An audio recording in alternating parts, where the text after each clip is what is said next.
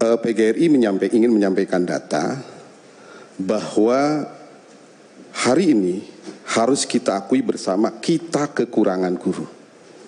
Berdasarkan data yang kami sampaikan bahwa jumlah guru 3.357.935 guru. Guru ASN hanya 1.607.480 guru. Hari ini guru-guru yang mengajar adalah guru honor berjumlah 1.750.455. Artinya hari ini kami PGRI ingin mengucapkan terima kasih kepada guru-guru honor yang telah berkontribusi untuk bangsa dan negara dalam mencerdaskan kehidupan bangsa. Dan hari ini juga kita harus sadar dan harus sepakat bersama, ayo kita hormati dan kita perjuangkan nasib kesejahteraan guru-guru honor. Itu yang ingin kami sampaikan pada kesempatan uh, pagi hari ini. Ini yang menjadi dasar pijakan kita, Pak Kementerian Pendidikan dan Kebudayaan Ristek serta Kemenpan RP untuk tidak terlalu banyak alasan regulasi dan kebijakan. Hari ini kita darurat kekurangan guru dan mari kita bersama-sama untuk fokus bagaimana menyelesaikan tata kelola guru yang sangat-sangat darurat untuk segera memenuhi kebutuhan guru di Indonesia ini. Itu yang pertama yang ingin kami sampaikan. Yang kedua, ada beberapa masalah guru honor. Di daerah setelah kami survei, Pak, ada 16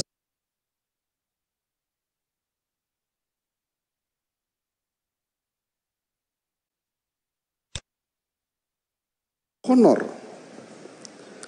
Di daerah setelah kami survei, Pak, ada 16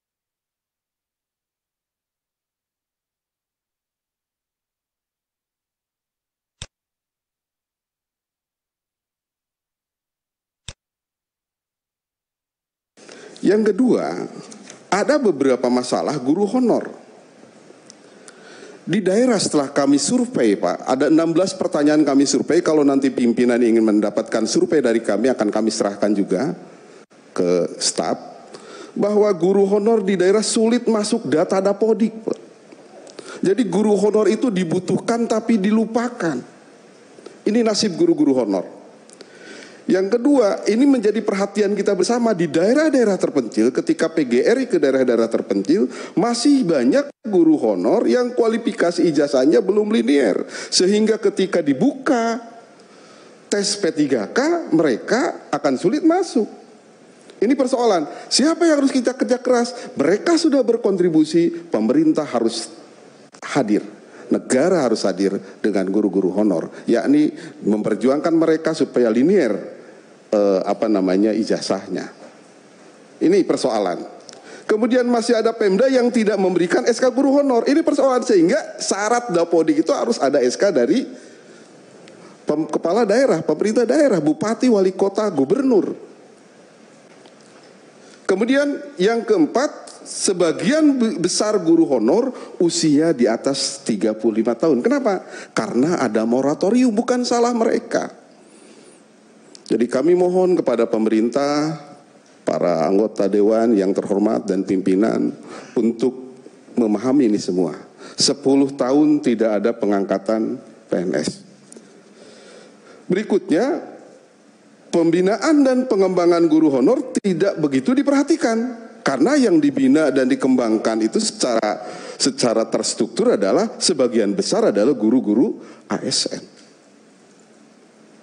Kemudian guru honor diangkat oleh kepala sekolah karena ada kebijakan tidak mengangkat PNS selama 10 tahun sehingga ada bahasa jangan salahkan kami pemerintah daerah yang angkat kepala sekolah. Padahal kebutuhan nyata banyak yang pensiun di sekolah tersebut, apakah harus terhenti pembelajaran kalau sampai tidak mengangkat guru honor?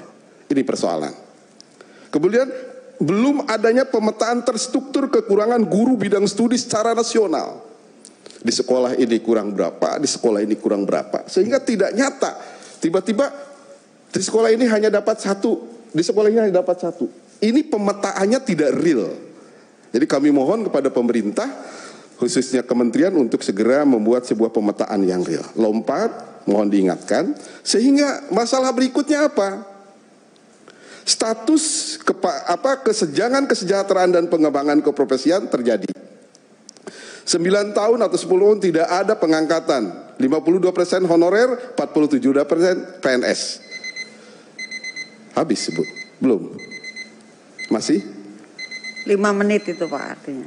Oh, itu udah 5 menit. Iya. Dan terakhir mungkin yang ingin saya sampaikan adalah eh, terkait dengan rekomendasi mendukung dan mengawal revisi Undang-Undang ASN, pengangkatan P3K kontrak, kemudian jalur CPNS segera dibuka kembali. Bagi honorer 35 tahun diangkat secara otomatis menjadi ASN khusus di daerah terpencil diangkat guru honorer yang sudah mengabdi lama.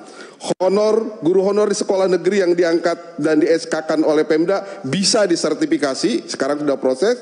Bagi honor yang telah bekerja lama tidak lulus tes harus disiapkan skema baru kesejahteraan yang diberikan kepada mereka.